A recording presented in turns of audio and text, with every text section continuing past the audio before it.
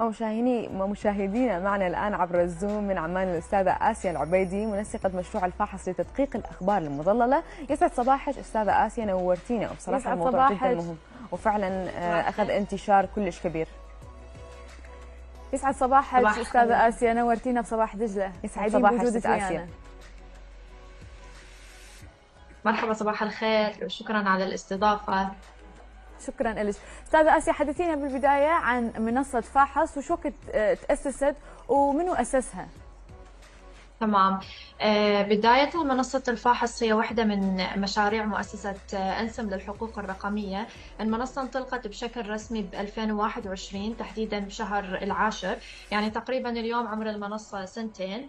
المنصة تم تأسيسها لتحقيق هدف في الحقيقة وهذا الهدف هو آه، نشر مفهوم التربية الإعلامية الرقمية إنه نخلق من كل شخص دا يتصفح الإنترنت ودا يتصفح الصفحات المختلفة آه، نخلقه ونحوله من شخص عادي لشخص فاحص ومدقق.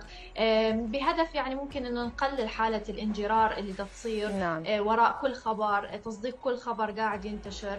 فهاي المنصة هي هذا الهدف الرئيسي إلها اللي إحنا نعم. نحاول يعني نشتغل عليه. نعم ست آسيا الله يوفقكم دائما. أنتم آه، كفريق كم شخص؟ وهل كلكم موجودين بمنطقه مدينة واحدة أو بمنطقة واحدة لو متوزعين كف... آه، كأشخاص بكل مدينة حتى تقدرون تسيطرون على الوضع ويعني الأخبار المزيفة أيضاً. يعني تسيطرون على الأخبار الزائفة بالنسبة لهذا الجانب لازم نركز على فكرة أنه المنصة هي مبادرة شبابية. فإحنا كلنا عبارة عن مجموعة أشخاص يعني آه، وفريق تطوعي جدا ضخم منتشر بالعراق وخارج العراق آه، من خلفيات صحفية إعلامية تقنية. جمعنا هذا الخليط كله حتى نحقق هاي الأهداف اللي إحنا عندنا إياها. آه، هدفنا واحد كلنا اللي هو الرصد والتحقق سواء كان الخبر ده ينتشر بأي محافظة إحنا دائما جاهزين ودائما يعني على انتباه كامل لكل ما ينشر. نعم. آه، الفريق يعني آه، التطوعي دائما آه، موجود يعني. نعم. نعم. طيب ست اسيا ليش الأخبار الكاذبة بدت بالانتشار هواية خاصة بهذه الفترة يعني؟ قبل أيضا كان أكو أخبار كاذبة ولكن مو بهذا الحجم والكم الهائل اللي بدنا نشوفه بهذه الفترة. طبعا يعني هذا واحد من أهم الأمور اللي خلت أصلا منصة الفاحص وتكون موجودة وغيرها من المنصات اليوم. ممكن نعم. قديما الأخبار الكاذبة موجودة والإشاعة أصلا هي ظاهرة قديمة. لكن خلينا نركز شوية إنه الخبر الكاذب لما كان ينشر كان ينشر بمحيطك الضيق ومجتمعك الضيق. على سبيل المثال إذا أنت تداومين بالمدرسة أو بالجامعة أو بالمستشفى فهذا مجتمع ضيق نشرت بينكم إشاعة. وخلاص هي أنتم تداولتوها بين بعض ما انتشرت بنطاق أوسع. لكن كنتيجة طبيعية جدا للتطور التقني والتكنولوجي اللي صار ودخل على العالم الإشاعة أكيد تطورت مع هذا التطور. نعم. اليوم كل شخص الإنترنت دخل حياتنا كل شخص يحمل هاتف ذكي آه، نستخدم ال social media بشكل شبه يومي. الشخص أول ما يقعد من النوم يفتح تليفونه يدور على الأخبار آخر الأخبار. فبالتالي ال social media صارت مصدر المعلومة وبنفس الوقت صارت آه، وسيلة لنشر المعلومة. نعم. هذا أدى إلى ضخ كم كبير جدا من المعلومات. يعني ال social بشكل شبه يومي أنت كل ما تسوي refresh لل timeline مالتك حتلقى خبر جديد. نعم. فبالتالي ضخ المعلومة الكاذبه حيصير أسهل وبحيصير بشكل أسرع. نعم. آه ماشي آه ست آسيا حابة أسألك إحنا شلون يعني شو وقت نقدر نسميها خبر كاذب؟ على الخبر الكاذب. وهل أكو فرق بينها وبين الإشاعات لو هم واحد؟ تمام. آه، بالنسبة لهذا الموضوع راح أحكي بس بخصوص السياق العراقي. نعم. إحنا اولا اليوم يعني الخبر أو الأخبار الكاذبة هي صار اسمها اضطراب المعلومات كونها نوع من الاضطراب اللي قاعد يصيب المعلومة والطريقة اللي دا توصل بها للمشاهد أو القارئ أو المتابع. فإحنا هاي اضطراب المعلومات نقسمهم لثلاث أشياء أساسية أخبار خاطئة وأخبار مضللة وأخبار ضارة. والتفريق بينهم جدا مهم وجدا يسهل علينا كمدققين ويسهل على القارئ نعم. بشكل جدا مختصر إذا إحنا عندنا خبر خاطئ هذا الخبر دائما يكون المواطن ضحيته شلون يعني؟ هذا الخبر كاذب مية بالمية. آه، خبر غير صحيح أبدا. كل عناصره غير حقيقية. بس الشخص اللي دا ينشره شخص غير واعي إنه هذا خبر كاذب. ودا ينشره بهدف نشر المعلومة. نعم. نشوفه ينتشر هواية بأوقات مثلا وفاة فنان. نشوفه ينتشر مثلا إنه هجوم مسلح. فهو يبدي نعم. يسوي شير بدون وعي ويدخل بنقاشات عقيمة ويا المتابعين الخاصين مالته. وهو يطلع خبر كاذب آه، بس خبر خاطئ ليش؟ لأنه هو ما عنده نية الإساءة نشره بدون وعي فهو ضحية لهذا. الخبر. النوع الثاني اللي هو الخبر المضلل وهنا هذا خبر كاذب أيضا لكن اللي نشره عنده قصد بالإساءة وعنده نوع من تحقيق الأجندة الخاصة به اللي يريد يحققها. وهي دائما ما تكون مستهدفة ضد يعني سياسيين بالعادة تكون آه، ضد أحزاب معينة. يعني دائما يكون تصنيفها سياسي مم. أكثر مما يكون اجتماعي. نعم. أما الخبر الضار وأنا هذا بالنسبة لي يعني أصنفه من أكثر الأخبار المضرة والجدية. هو اسم على مسمى. نعم. سبب الجدية والخطورة اللي بيه إنه هذا الخبر بيه جزء حقيقي. يعني نعم. هو أخذ اجتزأ حقيقة ولكن دمجها مع كذبة فشكل هذا الخبر المضلل واللي نسميه ضار لأنه دا يأثر بشكل مباشر على الشخص اللي دا يستهدفه. بالعادة دائما إحنا نقول مثل ما ذكرتي حضرتك إنه الفنانين يكونون عرضة لهاي الأخبار. مم. على سبيل المثال فنان يعاني من مرض وهو معترف إنه هو يعاني من مرض. نعم. تبدي الصفحات إنه وفاة الفنان إثر آه، مرض عضال. فالناس تصدق الخبر لأنه هو فعلا كان مريض نعم. فبالتالي ينتشر. وصعوبة تصحيحها تكون جدا عالية لأنه آه، الناس ما راح تصدق حتقول لك هو مريض فأنت لا هو ممكن يكون مات فعلا يعني. فهاي يعني التصنيفات الأساسية للأخبار. نعم. نعم. طيب استاذه آسيا تحسين إنه أو برأيك بعض المشاهير هم اللي يخترعون آه، يخترعون هذه الأكاذيب حتى آه، خلينا نقول الضوء يكون عليهم أكثر؟ يعني خاصة هسه مثلا عندنا الفاشينيستات والإنفلونسر وهذه من غيرها. يعني دائما تشوفين أكو أكشن بحياتهم يعني دائما أكو أخبار عليهم. آه، تحسين إنه هم ممكن يقولون هذا الخبر لشخص إنه ينشره حتى يجمعون أكثر مشاهدات ولايكات وغيرها؟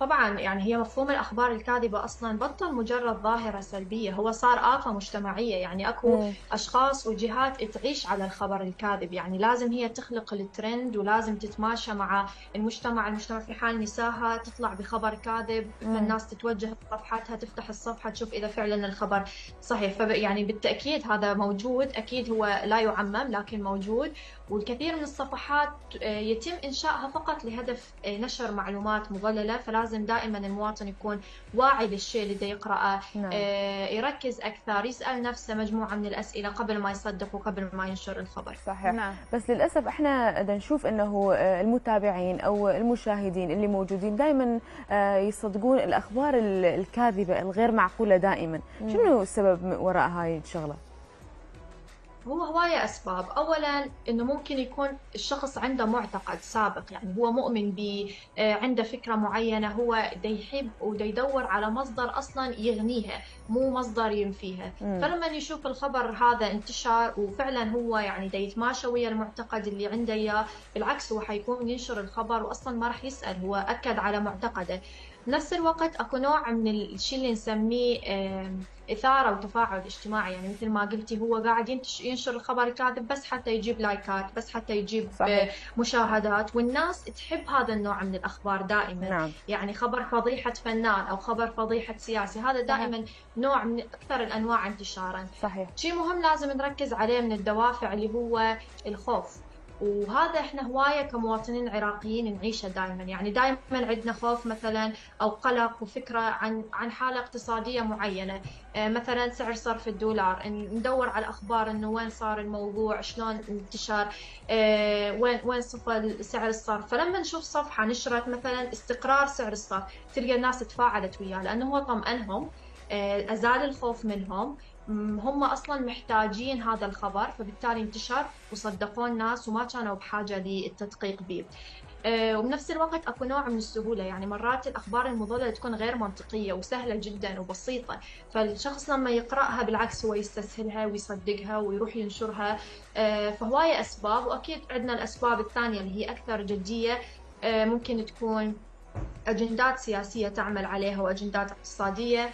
وممكن نعم. يعني حسب انتمائك الاجتماعي أنت تصدق الخبر يعني نعم. اللي يكون ملائم. نعم. طيب استاذه اسيا احكي لنا شوية أنتم شلون تتبعون الأخبار؟ وشلون تعرفون مثلا هذه هذا الخبر؟ هل هو صحيح أو هل هو آه، مفبرك؟ تمام. هي عملية شوي طويلة بس آه، نختصرها إحنا إنه من نعم. بداية عملنا صار عندنا قاعدة بيانات. بما معناه لما بدينا نرصد الأخبار من أول يوم بالمنصة آه، صرنا نحط كل صفحة نشرت خبر كاذب أكثر من مرة بقائمة وهاي القائمة إحنا دائما نرجع لها يعني. ببداية اليوم إحنا هاي الصفحات كلها نفوت عليها نشوف شنو نزلوا اليوم بالعادة نشرهم يكون متزامن نعم. آه، ينزلون نفس الخبر لما تدقق بيه يطلع فعلا مضلل. هاي الطريقة الأولى اللي هي قاعدة البيانات اللي إحنا نعتمدها وطبعا هاي بتحديث مستمر. للأسف الكثير من الصفحات العراقية هي من ضمن الأسماء الموجودة بهاي القائمة وهي صفحات يعني اجتماعية ويتابعها المواطن بشكل يومي. نعم. فبالتالي هم يدسون التضليل بطريقة لا شعورية للمواطن. الطريقة الثانية هو آه، الفريق التطوعي العامل على الرصد. يعني إحنا بشكل مباشر نلزم كل واحد التليفون نفتح ال social media الخاصة بينا نشوف شنو دا ينتشر شنو الخبر اللي حاليا الترند والناس دا تحكي عنه بالمواقع. نعم. ندقق هذا الخبر. الطريقة الثالثة هي التواصل معنا مباشرة والتبليغات اللي توصلنا إنه هذا الخبر ده ينتشر بمنطقتي. آه أنا عندي شكوك إلى آه ممكن تدققوه فعلا ندققه إذا كان صحيح يتم آه آه يعني الإجابة أنه هو هذا الخبر صحيح. إذا كان مضلل يتم نشر تقرير مم. كامل نعم. عن تصحيح الخبر. نعم. أستاذة آسيا آه، بما أنه بدنا نحاول إنه إحنا نحل هذا الموضوع ونقضي على الأخبار الكاذبة هل أكو قانون يعاقب على نشر الخبر الكاذب؟ يعني نقدر إحنا نحولها لل- للقانون إذا أكو شخص متضرر؟ صحيح ال- المشرع العراقي في الحقيقة يعني لم يغفل عن موضوع الإشاعة وبالعكس يعني اللي يقرأ قانون ال- العقوبات العراقي رقم 111 راح يشوف إنه هو صنف الإشاعات الضارة والإشاعات الكاذبة كشيء يمس أمن الدولة مم. فتخيلوا قد هي ظاهرة آه، سلبية وحقيقية وممكن تسبب أثر جدي. أكو مجموعة من القوانين الموجودة بهذا القانون آه، يعني الفقرات الموجودة بهذا القانون آه، تجرم الإشاعة ممكن أذكر منها يعني المادة 179 وهاي يعاقب الشخص اللي نشر معلومة. ضارة آه، بالسجن ما لا يزيد عن عشر سنوات. فتخيلوا آه، حجم ال- ال- العقوبة. ال- العقوبة. نعم. وهاي آه، تمس مثلا حالة الحرب نشر إشاعة بوقت الحرب أثرت على القدرة الحربية للدولة. عندنا مواد ثانية تتحدث عن الضرر بالحالة الاقتصادية للدولة مثل أنه تهز ثقة المواطن بمثلا صحة النقد بالدولة.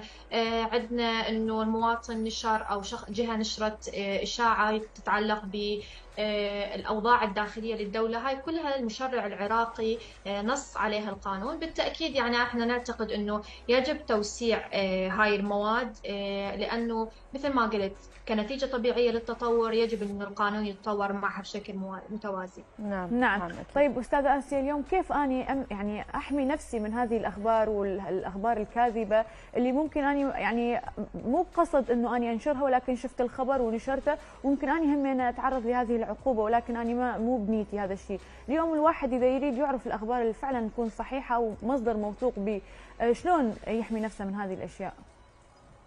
صح هذا السؤال يعني هو كلش حلو وممتع وإحنا دائما بالتدريبات دائما نعطي مجموعة من التركات خلينا نقول البسيطة جدا للشخص اللي ما عنده أدنى يعني مستوى من التدقيق للمعلومة خلينا نقول الشخص العادي المواطن العادي.